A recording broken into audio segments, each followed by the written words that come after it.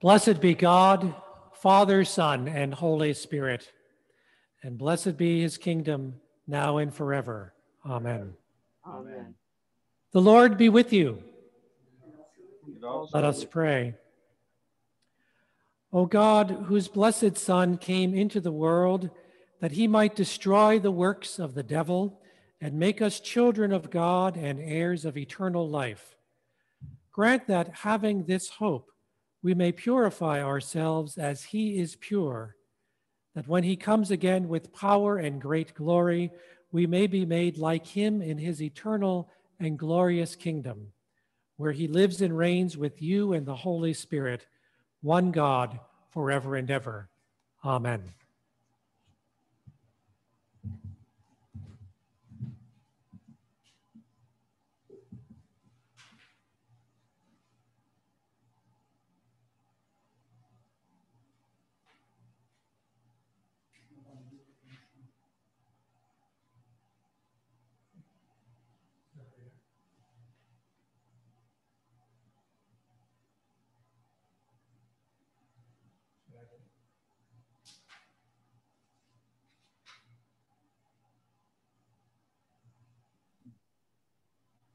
I had. I thought I had them.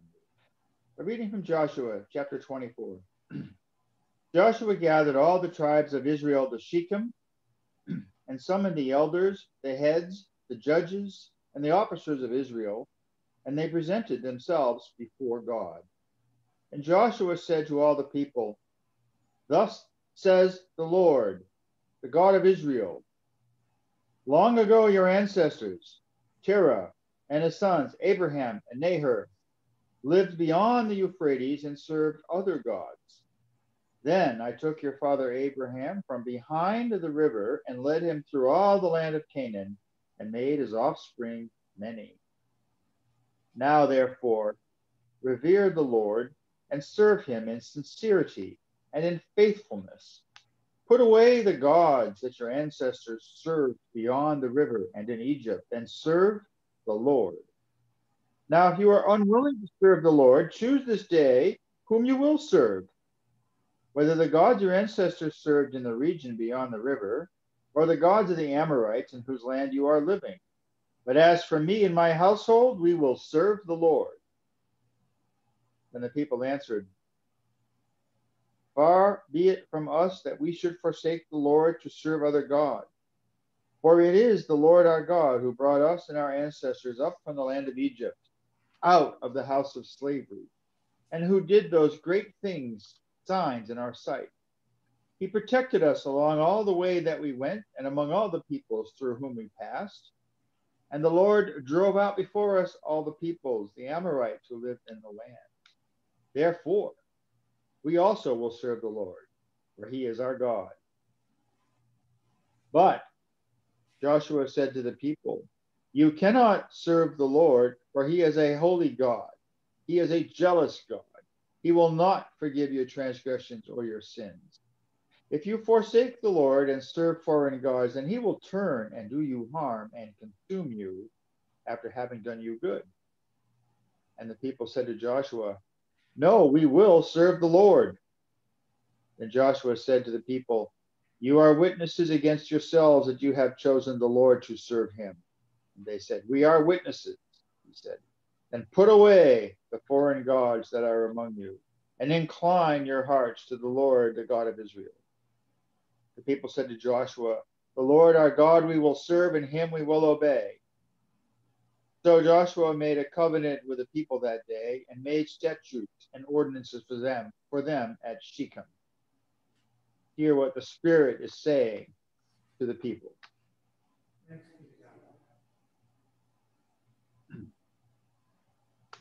Our psalm today is Psalm 78, verses 1 through 7. Hear my teaching, O my people. Incline your ear to the words of my mouth. I will open my mouth in a parable. I will declare the mysteries of ancient time. That which we have heard and known, and what our forefathers have told us, we will not hide from their children. We will recount to generations to come the praiseworthy deeds and the power of the Lord and the wonderful works he has done. He gave his decrees to Jacob and established the law for Israel, which he commanded them to teach their children, that the generations to come might know, and the children yet unborn, that they in their turn might tell it to their children so that they might put their trust in God and not forget the deeds of God, but keep his commandments. Glory to the Father, to the Son, and to the Holy Spirit, as it was, shall be, and world without end. Amen. Our second reading is the letter of Paul, the first letter of Paul to the Thessalonians, chapter 4, verses 13 through 18.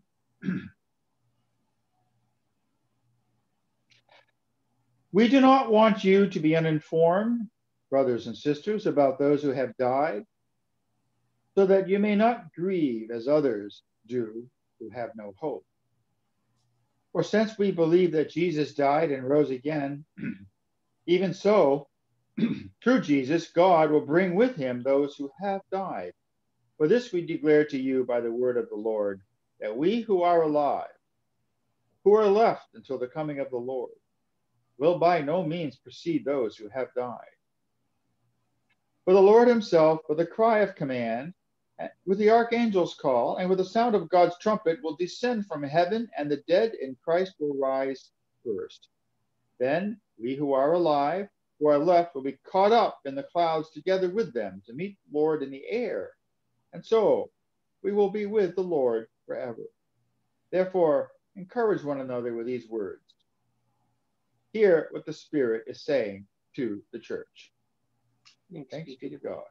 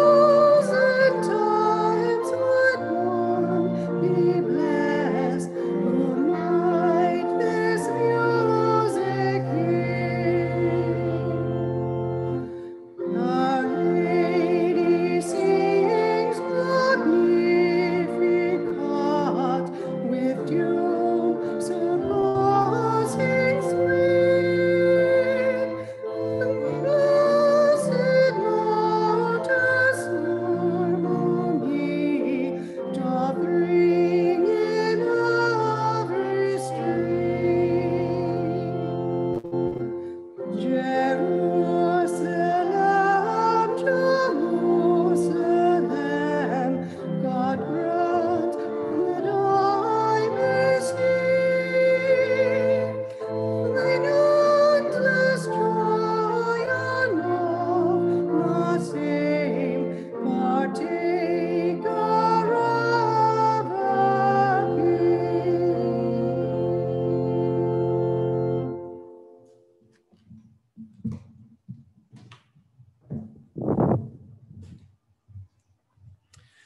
Holy Gospel of our Savior Jesus Christ according to Matthew. Glory to you, Lord Christ. Jesus said, The kingdom of heaven will be like this.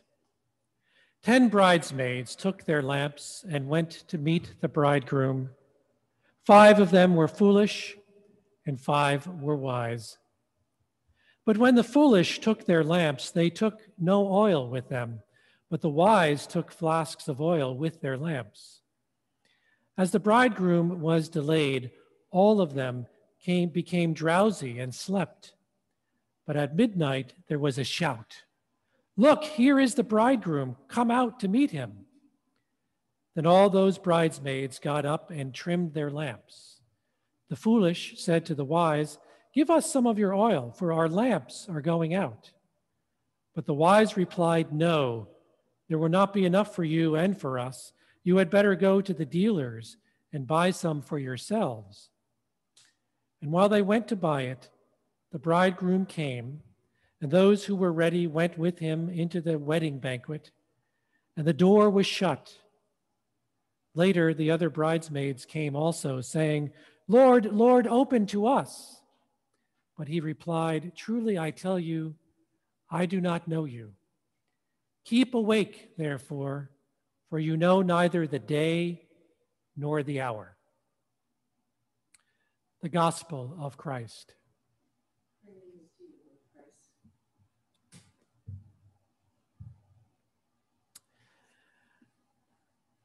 I suspect some of you might be uh, wondering if I'm going to talk about the election this morning. I'm not. We are going to pray for our nation.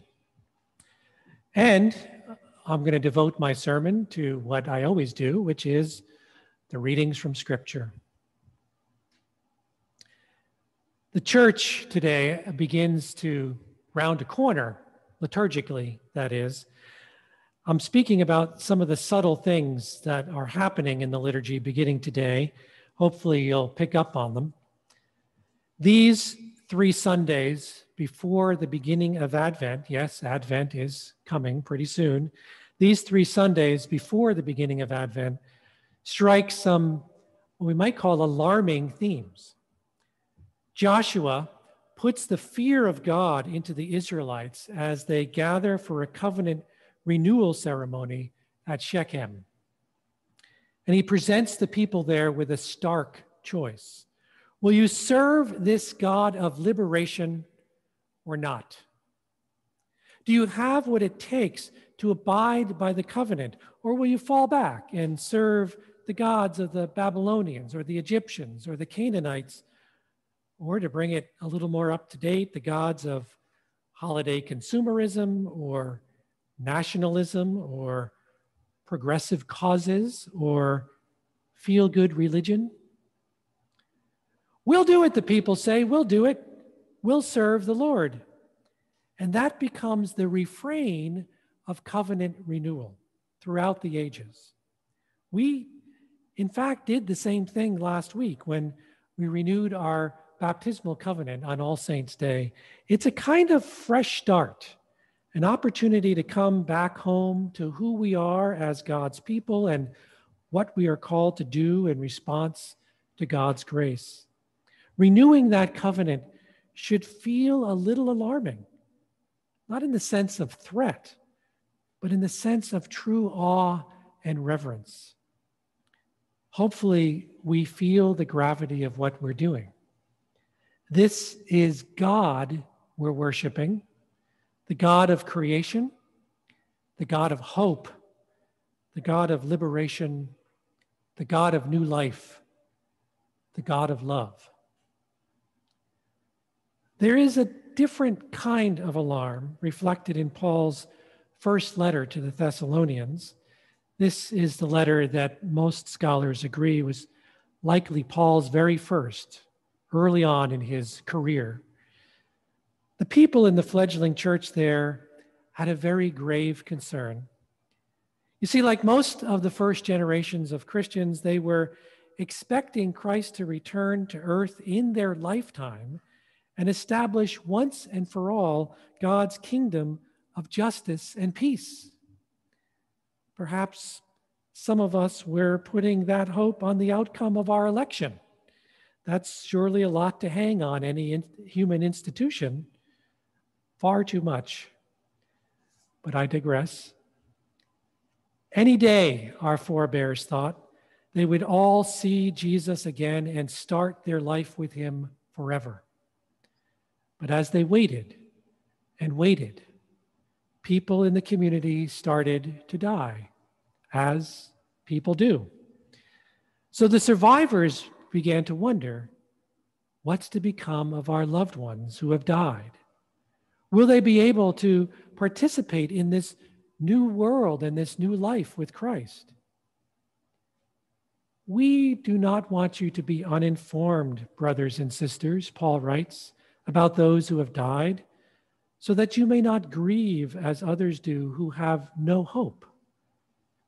And Paul goes on to give his very early understanding of what this hope is all about. He tries to explain why the Thessalonians don't need to worry, and neither do we need to worry for even if you can't relate to the graphic picture of people being caught up into the clouds, the basic message is clear and true. Christ has overcome death and the grave. Death no longer has its sting for us.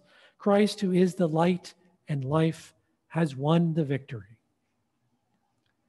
But as time went on, and Jesus still had not returned after another generation or two, the church began to reflect more deeply on these things and a little differently, and encouraged its members always to stand ready, to be prepared at any moment, but not to fret about when this new advent of Christ might come about. We need to get on with our lives, but at the same time, we need to live in a posture of readiness, poised at any moment to meet Christ. So we have this parable of the ten bridesmaids. Five are wise and carry enough oil to keep their lamps burning throughout the night, but five are foolish and don't bother to prepare for a possible delay.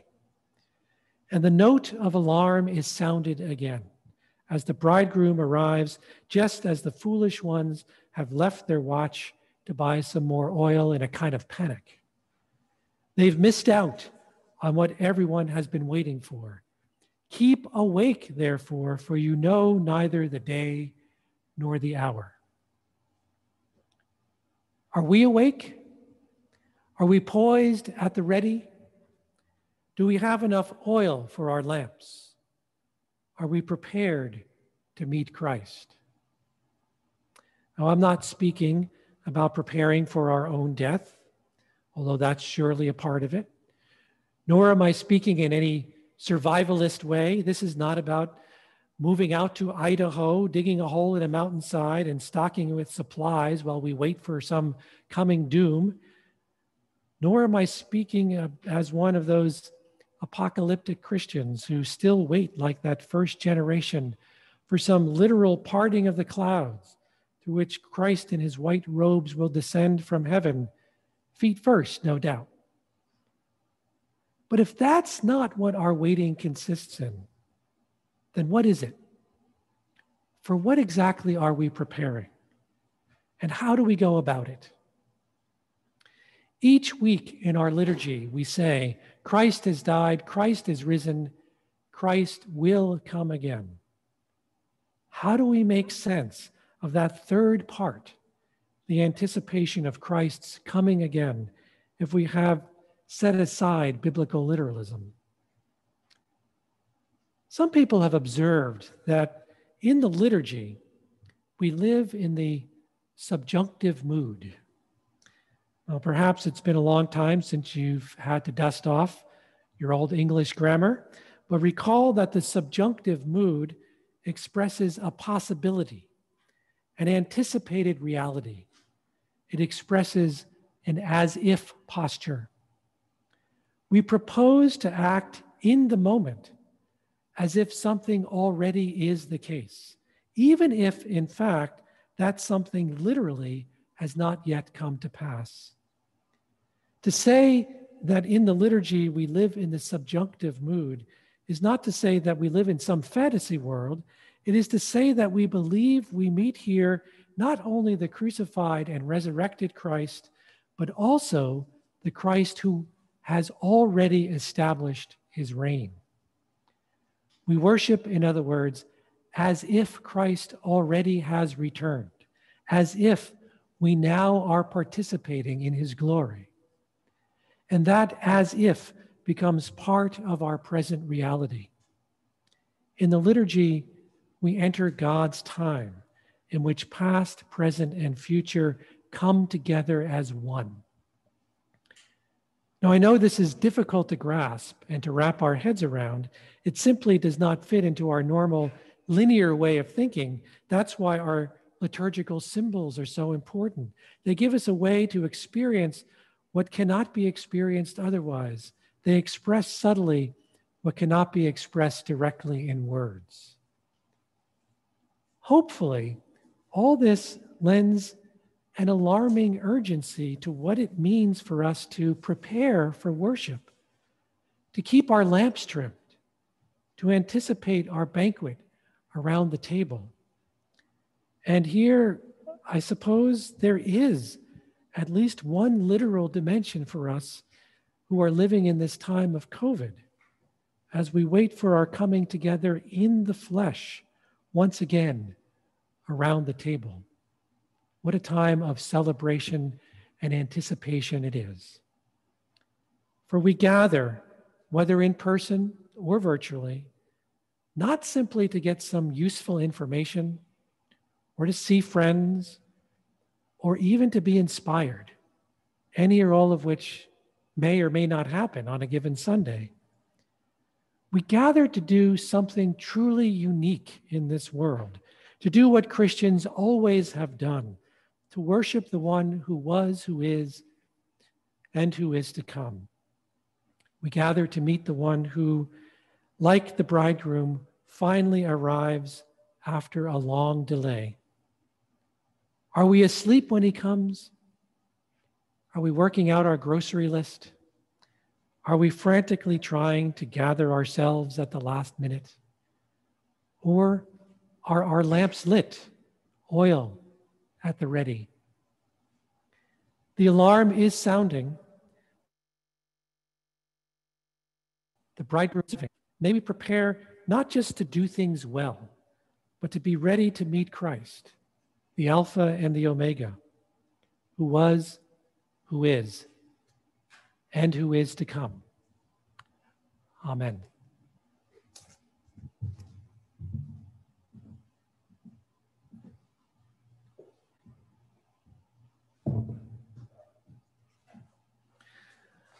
Let us affirm our faith in the words of the Nicene Creed. We believe in one God, the Father, the Almighty, maker of heaven and earth, of all that is, seen and unseen. We believe in one Lord, Jesus Christ, the only Son of God, eternally begotten of the Father, God from God, light from light, true God from true God, begotten, not made, of one being with the Father. Through him all things were made for us and for our salvation. He came down from heaven. By the power of the Holy Spirit, he became incarnate from the Virgin Mary and was made man. For our sake, he was crucified under Pontius Pilate. He suffered death and was buried. On the third day, he rose again, in accordance with the Scriptures. He ascended into heaven and is seated at the right hand of the Father. He will come again in glory to judge the living and the dead, and his kingdom will have no end. We believe in the Holy Spirit, the Lord, the giver of life, who proceeds from the Father. With the Father and the Son, he is worshiped and glorified. She has spoken through the prophets. We believe in one holy Catholic and Apostolic Church. We acknowledge one baptism for the forgiveness of sins. We look for the resurrection of the dead and the life of the world to come. Amen.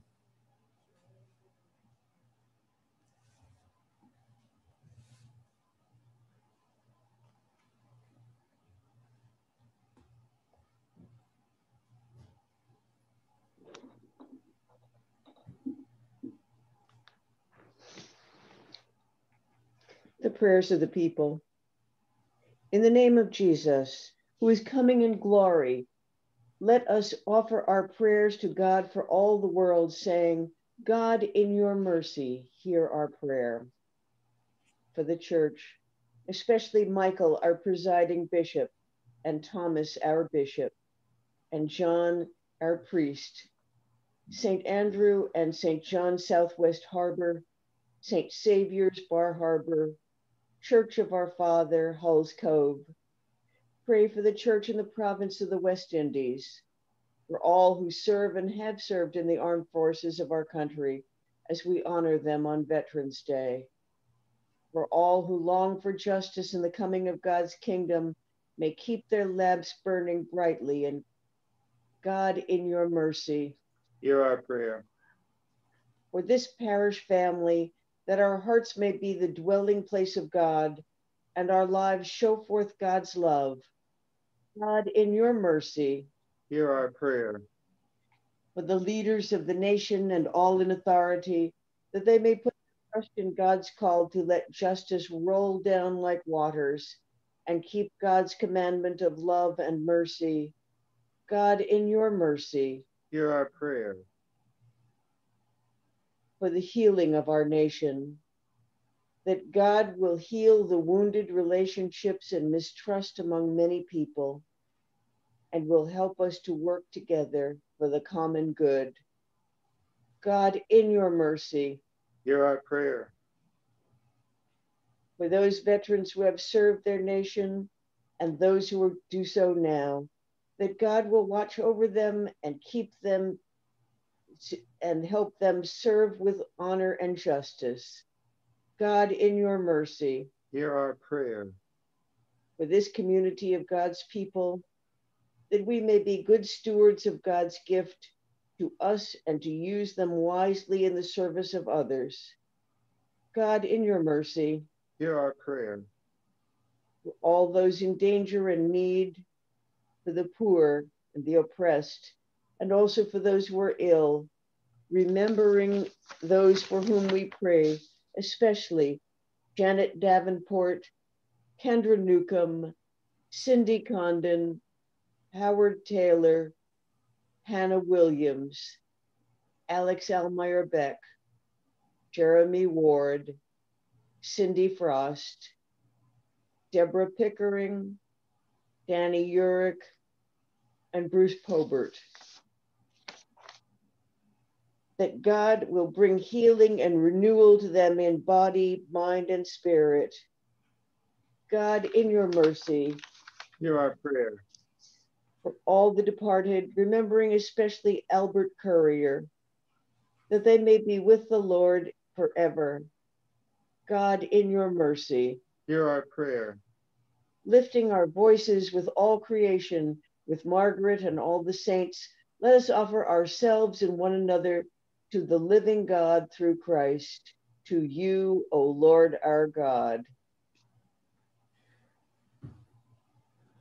Gracious God, grant that your holy and life giving Spirit may so move every human heart, and especially the hearts of the people of this land, that barriers which divide us may crumble, suspicions disappear, and hatreds cease, that our divisions being healed, we may live in justice and peace. Through Jesus Christ our Lord. Amen. Amen. Holy God, whose Son died and rose again, hear the prayers we offer this day, and let your loving kindness be our comfort for the sake of Jesus Christ, your living word. Amen. Let us confess our sins against God and our neighbor. Most merciful God, we confess that we have sinned against you in thought, word, and deed by what we have done and by what we have left undone. We have not loved you with our whole heart. We have not loved our neighbors as ourselves. We are truly sorry and we humbly repent. For the sake of your Son, Jesus Christ, have mercy on us and forgive us, that we may delight in your will and walk in your name, to the glory of your name. Amen. Almighty God, have mercy on you, forgive you all your sins through the grace of Jesus Christ, strengthen you in all goodness, and by the power of the Holy Spirit, keep you in eternal life. Amen. The peace of Christ be always with you, also with you. Peace, Chris. Peace all.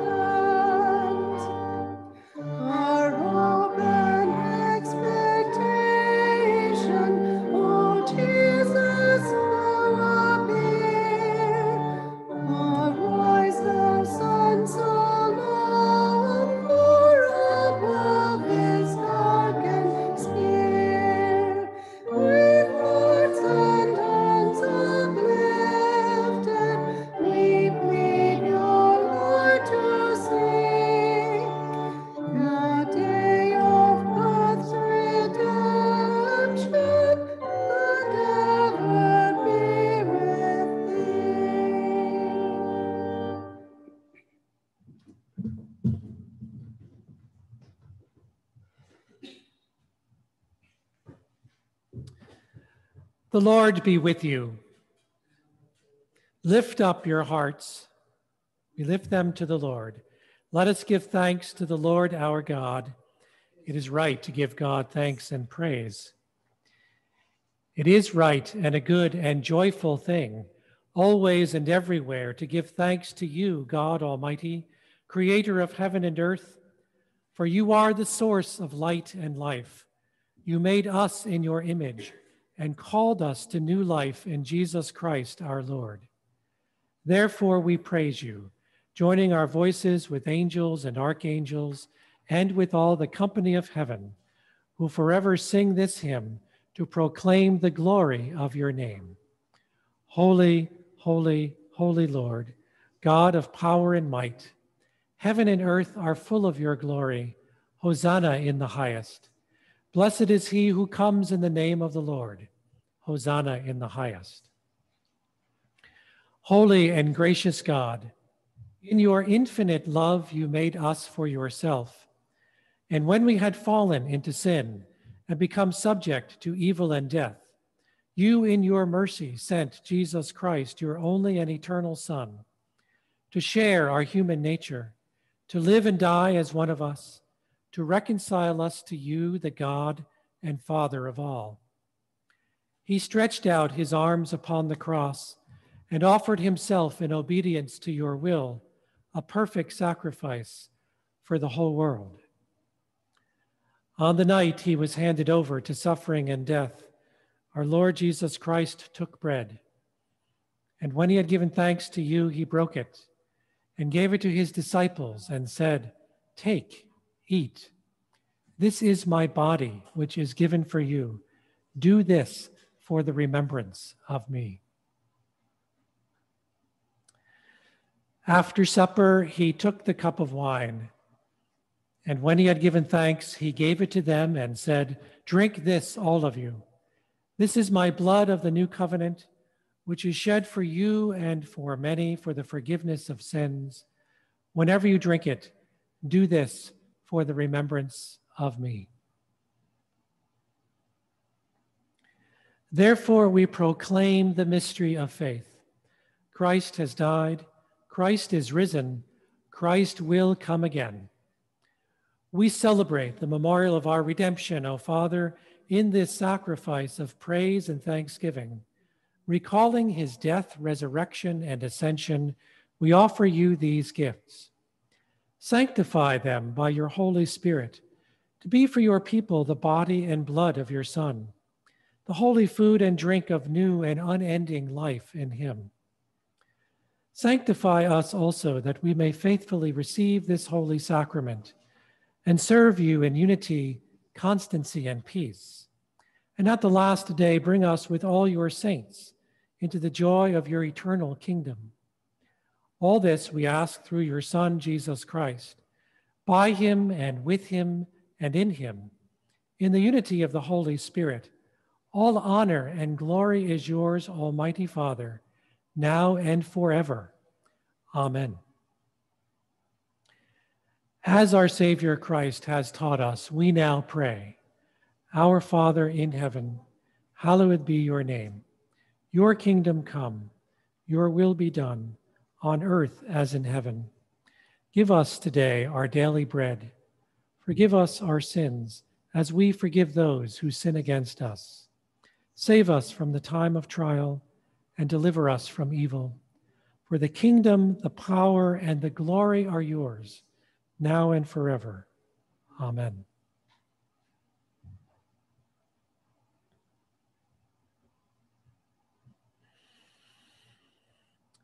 Hallelujah. Christ, our Passover, is sacrificed for us. Therefore, let us keep the feast. Hallelujah. The gifts of God for the people of God. I invite you to say with me the prayer for spiritual communion. In union, blessed Jesus, with the faithful at the altar of your church, where the Holy Eucharist is now being celebrated, we offer you praise and thanksgiving. We present to you our souls and bodies with the earnest desire that we may always be united to you. And since we cannot now receive communion, we ask you to come spiritually into our hearts. We unite ourselves to you and embrace you with all the affections of our souls. Let nothing ever separate you from us. Let us serve you in this life until by your grace we come to your glorious kingdom and unending peace. Amen.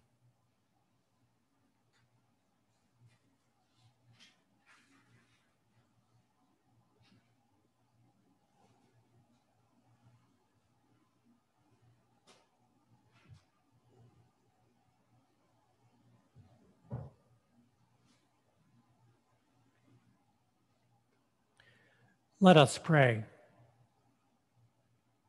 Eternal God, Heavenly Father, you have graciously accepted us as living members of your Son, our Savior, Jesus Christ, and you have fed us with spiritual food in the sacrament of his body and blood.